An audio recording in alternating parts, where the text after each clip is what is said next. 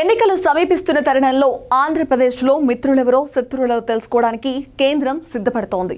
ఈ నేపథ్యంలోనే జగన్మోహన్ రెడ్డిపై ఎప్పటి నుండో పెండింగ్లో ఉన్న కేసుల ఫైళ్ళను దర్యాప్తు సంస్థ బూసు దులుపుతోంది ఓబులాపురం మైనింగ్ కేసులో జగన్మోహన్ రెడ్డి అక్రమాస్తుల కేసుకు సంబంధించి ఐఏఎస్ శ్రీలక్ష్మి కేసులో సిబిఐ సుప్రీంకోర్టులో అఫిడవిట్ దాఖలు చేసింది.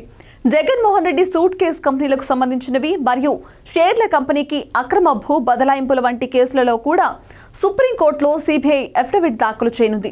ఆంధ్రప్రదేశ్ రాష్ట్రంలో సంచలనం సృష్టించిన వైఎస్ వివేకానందరెడ్డి హత్య కేసులో కూడా దర్యాప్తు సంస్థలు దూకుడు పెంచుతున్నాయి.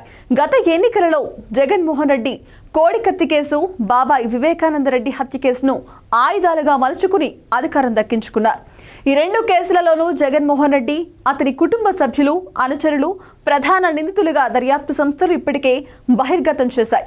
వివేకానంద రెడ్డి హత్య కేసులో అరెస్టు కాకుండా ఉండడానికి ఎంపీ అవినాష్ రెడ్డి చేసిన ఫీట్లు రాష్ట్ర ప్రజానికం యావత్తూ గమనించారు. వివేకానంద రెడ్డి హత్య కేసులో పరోక్షంగా జగన్మోహన్ రెడ్డికి కూడా సంబంధాలు ఉన్నట్లుగా ప్రజల అభిప్రాయానికి వచ్చారు. ఈ పరిస్థితుల్లో కేంద్ర దర్యాప్తు సంస్థలు వేగం పెంచి దోషులు శిక్షిస్తే తప్ప భారతీయ జనతా పార్టీపై ప్రజలకు నమ్మకం కలగదు అన్న నిశ్చయానికి వచ్చింది ఇక కేంద్ర దర్యాప్తు సంస్థలు కూడా జగన్మోహన్ రెడ్డి అక్రమాస్తులు హత్య కేసులపై వేగం పెంచడానికి కేంద్ర ప్రభుత్వ పెద్దలు కూడా గ్రీన్ సిగ్నల్ ఇచ్చినట్లుగా తెలుస్తోంది. గత నాలుగు సంవత్సరాలుగా జగన్మోహన్ రెడ్డిని కేంద్ర ప్రభుత్వం కేసుల నుంచి కాపాడుతూ వచ్చిందన్న అభిప్రాయం రాష్ట్ర ప్రజలలో బలంగా నాటుకుంది. రాబోయే సార్వత్రిక ఎన్నికల నాటికి ప్రజలలో ఏర్పడ్డ ఈ అభిప్రాయాన్ని తొలగించాలన్న కృత నిశ్చయంతో కేంద్ర ప్రభుత్వం ఉంది. పైసా పెట్టుబడి లేకుండా వైఎస్ రాజశేఖర రెడ్డి అధికారాన్ని అడ్డు పెట్టుకుని కోట్లాది రూపాయల వ్యాపార సామ్రాజ్యానికి జగన్మోహన్ రెడ్డి అధిపతయ్యారు. రాజుల కాలం నాటి పరిస్థితులకు అనుగుణంగా లక్షలాది చదరపు అడుగుల విస్తీర్ణంలో విలాసవంతమైన భవనాలను నిర్మించారు.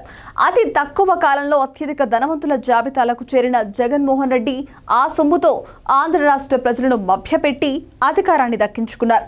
డబ్బు అధికారం రెండింటినీ కూడా హస్తగతం చేసుకున్న జగన్మోహన్ రెడ్డి డబ్బు సంపాదనపై మాత్రం ఆశ చావలేదు.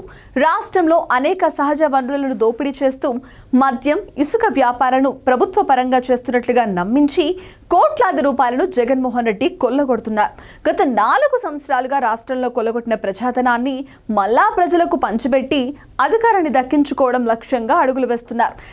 ఈ నేపథ్యంలో కేంద్ర దర్యాప్తు సంస్థలు జగన్మోహన్ రెడ్డిపై అతని కుటుంబ సభ్యులపై ఉన్న కేసుల దర్యాప్తును వేగవంతం చేయడంతో జగన్ అండ్ కో బ్యాచ్కి వెన్నులో వెనుకు ప్రారంభమైంది.